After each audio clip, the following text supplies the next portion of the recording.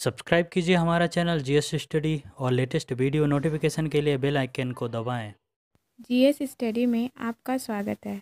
आज हम अटल जी की याद में केंद्र सरकार द्वारा जारी किए गए सिक्के के बारे में कुछ महत्वपूर्ण जानकारी प्राप्त करेंगे।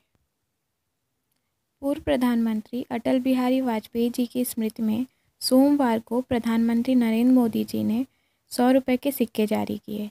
सिक्के का वज़न थर्टी फाइव ग्राम है इसके एक सिरे पर अटल जी के नाम के साथ उनका चित्र है। नाम अंग्रेज़ी और देव, देवनागरी लिपि में लिखा गया है।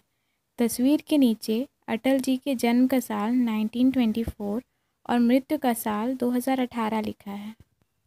सिक्के के दूसरे सिरे पर अशोक स्तंभ का निशान है। इसमें नीचे सत्यमेव जयते लिखा है।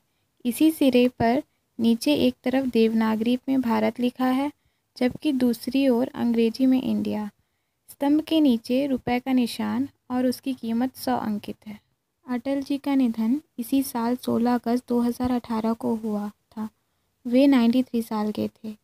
अटल जी तीन बार देश के प्रधानमंत्री रहे। उनके सम्मान में कई जगहों के नाम बदले गए। हिमालय की चार चोटियों के नाम भी उनके नाम पर रखे गए। छत्तीसगढ़ के नए रायपुर का नाम अटल नगर रखा गया। इसके अलावा उत्तराखंड सरकार ने देहरादून एयरपोर्ट का नाम बदलकर अटल जी के नाम पर रखा। उधर उत्तर प्रदेश सरकार ने भी लखनऊ में हज़रतगंज चौराहे का नाम बदलकर अटल चौक रखने का फैसला किया।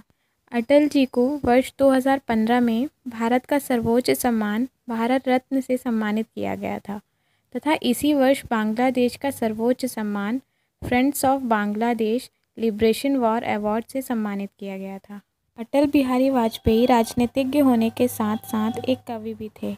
मेरी इक्यावन कविताएँ अटल जी का प्रसिद्ध काव्य संग्रह था। उनकी कुछ प्रमुख प्रकाशित रचनाएँ इस प्रकार हैं। रग रग हिंदू मेरा परिचय, अमर बलिदान, संसद के तीन दशक, राजनीति की रपटीली राहें। किया मैं मन से मरूं लौट कर आऊँगा कूच से क्यों डरूं? तू दबे पाओ चोरी छिपे से ना। सामने वार कर फिर मुझे आजमा। मौत से बेखबर ज़िंदगी का सफ़र, शाम हर सुरमई, रात बंसी का स्वर। बात ऐसी नहीं कि कोई गम ही नहीं।